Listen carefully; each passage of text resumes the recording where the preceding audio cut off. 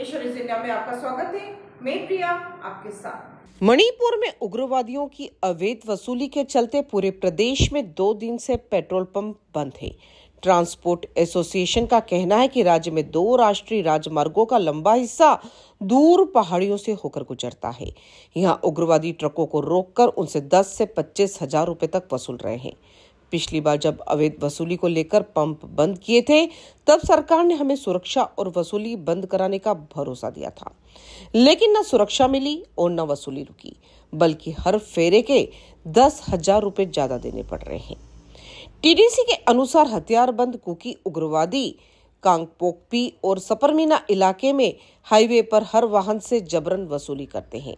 इसके अलावा राज्य में ज़रूरी वस्तुओं की कीमत 10 से 30 प्रतिशत तक बढ़ गई है। दूसरे राज्यों की तुलना में फल और मछली की कीमत 50 प्रतिशत अधिक है। कुल परिवहन लागत पहले पचपन और पैंसठ हज़ार रूपए प्रति ट्रिप थी।